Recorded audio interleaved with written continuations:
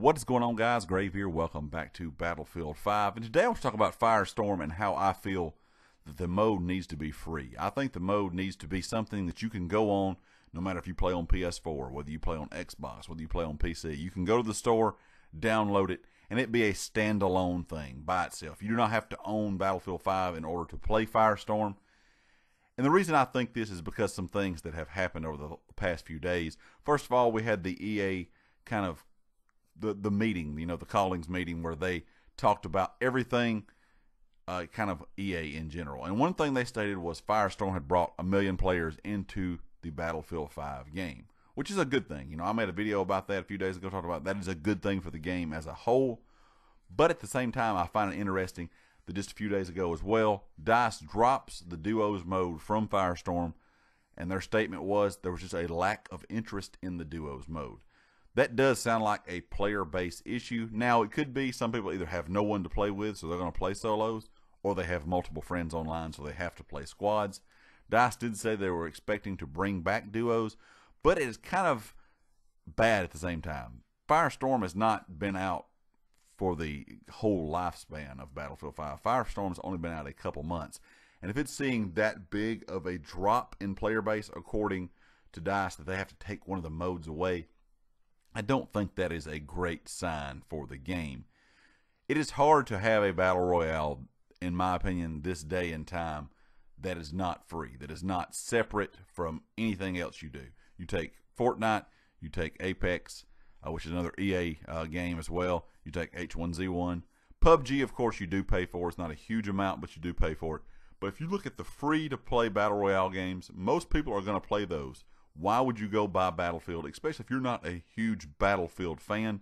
Why would you go buy Battlefield just to play Firestorm, even if Battlefield 5 was on sale?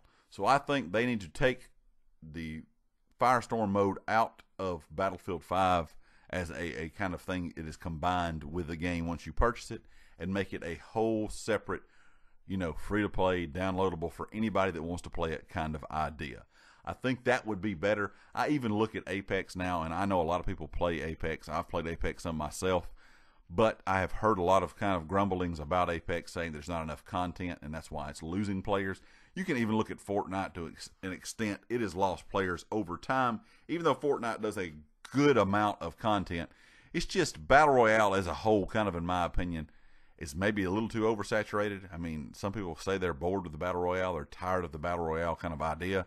I've never been a massive fan of it. I will play it. I do enjoy Battle Royale for what it is, but it's not something that I'm going to sit down and play like I'm going to play certain multiplayer style games.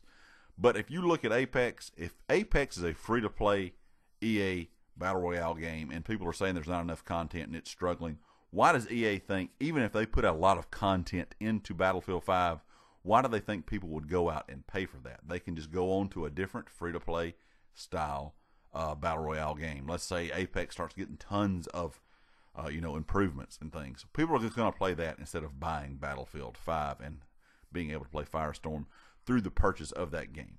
So I think overall, EA and DICE need to look at Firestorm if they really want to do things with this mode.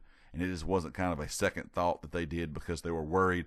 A lot of people say they were worried, and I kind of can, can see it worried because Black Ops is even going to have a battle royale mode, you know, with Blackout. But even to me, Blackout I think should have been free to play as well because no, you know, no person is going to go out and buy a game for 60 bucks just to play a certain mode out of it. I don't really see Battlefield and Call of Duty being competitors. I have played both games, every single title ever created by either Call of Duty or Battlefield. I've played them all. I know there's not a lot of people that play both, but I've always played both because I like them for their differences. And in my opinion, their communities are a lot different. I don't think they've ever really been that much of a competitor, but I think both companies kind of saw that whole, oh my gosh, Battle Royale is this great thing. Everybody's playing it. We better get on the bandwagon now to see if we can get some players. And I don't think you need to approach it that way. I think DICE needs to make Firestorm free and make the improvements to it because even if they make it a great game right now, they improve it, and let's say within five or six months, it's one of the best battle royale modes out there. I still don't see the player base getting that big because you have to pay full price for the Battlefield 5 game. So guys, leave me a comment. Do you think Firestorm would be more of a success if it was free to play? And do you think DICE should definitely consider this? And do you think DICE is even really worried about the Firestorm mode? Do you think they're just in kind of, you know, a mode where they're just throwing this in there to get it out there because that is what's popular now? Course, guys, if you like the video, hit the like. If you have not subscribed yet, please do so. And I'll catch you next time. Peace.